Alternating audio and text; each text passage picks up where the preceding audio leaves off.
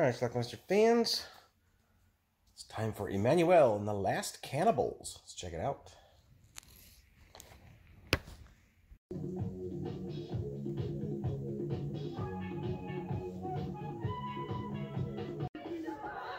Our movie starts with a nurse stumbling out of a room with her breast bitten off. There's the guilty culprit.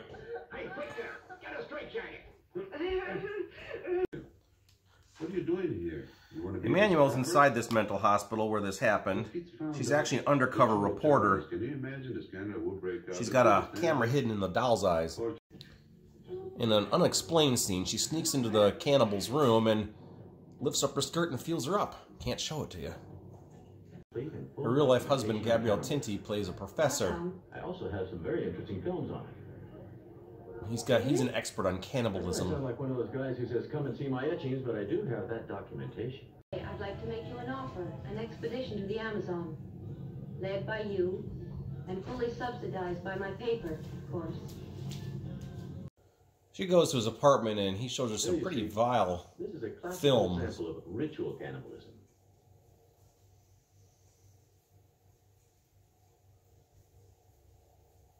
Behave as such. I think a romance is sparking. You are fascinated, Manuel. But rest assured, I don't intend to fall in love with you. Maybe he won't fall in love, but he has no problem making love next to the Harlem River.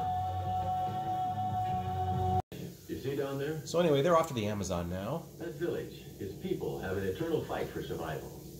Really? I It was actually you. filmed in Italy, not far from Rome. Well, That girl has a tattoo above her pubic breeches, which seems to be the tribal symbol of the Apiaca. That's impossible. The Apiacas have been extinct for over 50 years. Hmm. That's Isabel and a nun. They're going to join them on their quest. Later on, Isabel's going to uh, enjoy herself while she's spying on Emanuelle and the professor. than an old man like me. You'll have to take my word on that, of course. Bye. So anyway, they're off.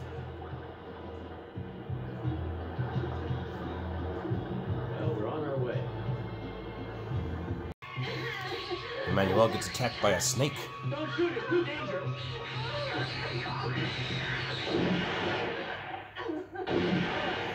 Meet the hunter. He joins him too. We're on our way to Father Morales' mission. I'm sorry to have to tell you this, but there's no more mission. They were attacked by some savages. We got there shortly after it happened. And as they make camp, it appears someone is stalking them.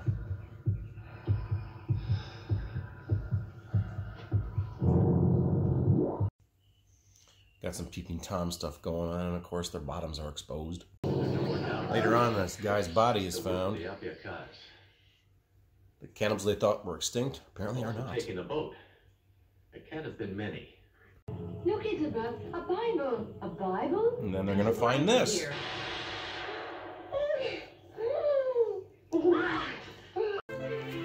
Later on, it turns out that our hunter is a pervert, and he's gonna start feeling this woman up while she's sleeping, get his hands up in there and in her business. Cannibals are now eating.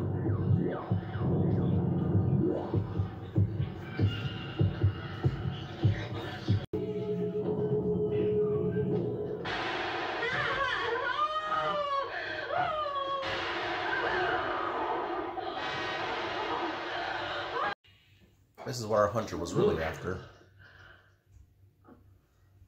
We've made it. We've made it, Maggie. We're rich now. Then the cannibals attack. Mackenzie. Now those savages have taken them and my Maggie.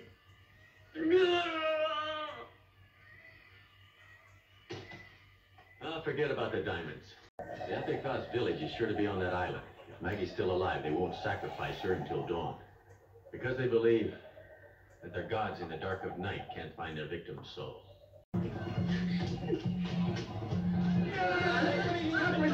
They're in trouble now.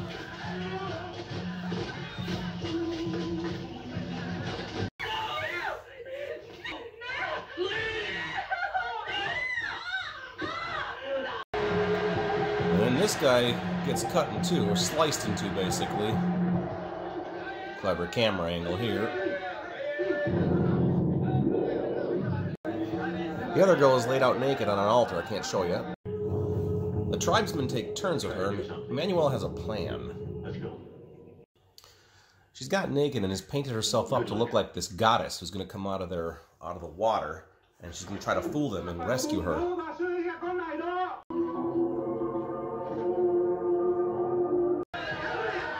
Once they realize the ruse,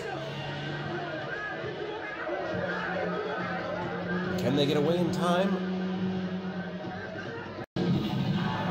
They can and they will.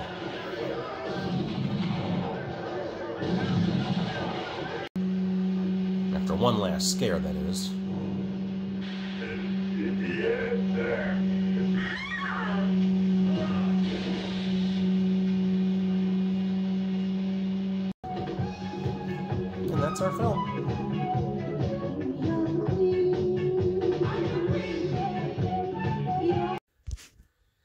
Alright, Schlockmeister fans.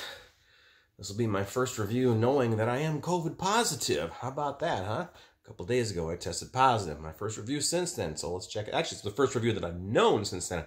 I actually reviewed Macabre, not knowing I was sick. But anyway, I mean, I knew I was sick. I just didn't know I had COVID. But I regress. Fuck COVID. Emanuelle and the Last Cannibals. So, this isn't a movie that I have. This is a movie I taped off of cable probably 1993 or so. I think I taped it off of Joe Bob uh, movie channel uh, on his uh, drive-in theater.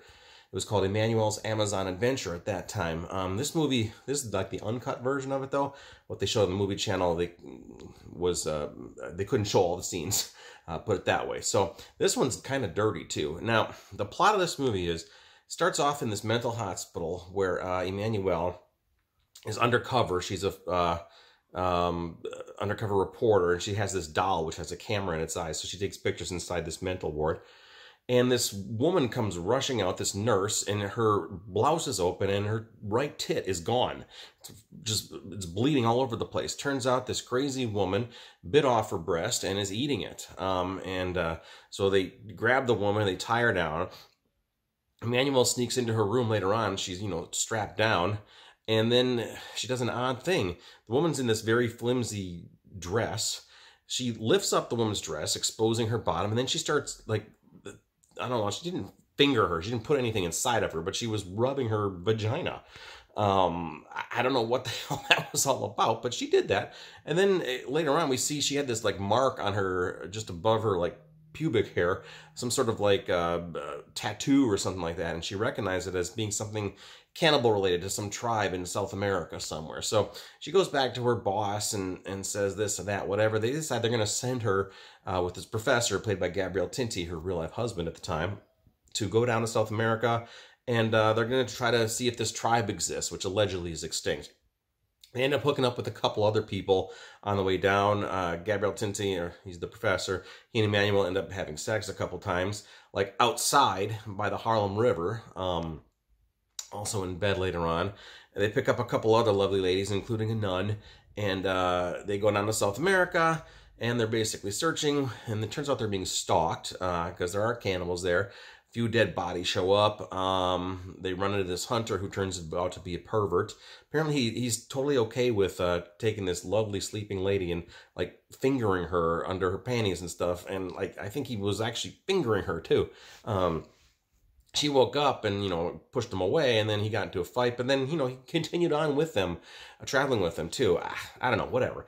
Anyway eventually the cannibals show up and they start kidnapping them taking them um, and eating them uh, and then like basically we have two people left emanuelle and the professor and they're watching as um, one of the group parties of their group uh, is taken prisoner woman and she's led naked and laid on the ground and uh, several people in the tribe take turns with her. Uh, i guess they're gonna like sacrifice her to their god or whatever but she has to be pregnant first. So emanuelle comes up with this plan. She's gonna pretend that she's the this goddess that they worship who like lives in the water or something like that. So she gets naked and paints herself up to be this goddess and comes out of the water as they're about to sacrifice this woman comes down and basically walks away with her while the tribe just stands there gawking like what the hell and then as soon as they get in the water she's like swim as fast as you can so then they swim really fast and then uh, a professor shows up in the motorboat he has, and they're able to get away, and that's that's basically how our film ends. So,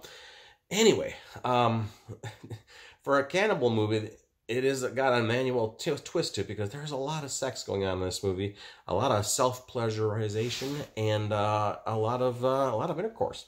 Obviously, none of it's real, of course, uh, although the self stuff was real. Um, yeah, it's a dirty film. It's a dirty film. Um, there you can actually see some vaginas in this movie. So hey, great vaginas. Who doesn't like those? So anyway, that is this directed by Joe D'Amato. Um, it says it was filmed in Brazil or, or somewhere in South America. It's a bunch of shit though. It was actually filmed about 50 miles uh, southeast of Rome in this little lake near the ocean. I looked it up. You can see it. It's plain as day on like Google Earth or something. You can notice it. So, but yeah, that's it. It's actually, you know, not a bad film. It, it, it some, some of the gore scenes are kind of cool. Apparently all the extras that were used in this movie who were the tribes people, the cannibals, were actually Filipino uh, tourists to Italy. Uh, they just grabbed them at the airport and said, you want to be in a movie? And they said, yeah. So that's what they did. So anyway, that's Emanuelle and the Last Cannibals, um, also known as Trap Them and Kill Them. I have a pre-recorded VHS of this movie under that title as well. Um, but yeah, like I said, it's a this is a risque, dirty film. So check it out from Shriek Show. It, it's a good one. Exploitation-wise, can't go wrong. Check it out. Leave some comments. Do you think about Emanuelle and the Last Cannibals? Watch it. Bye.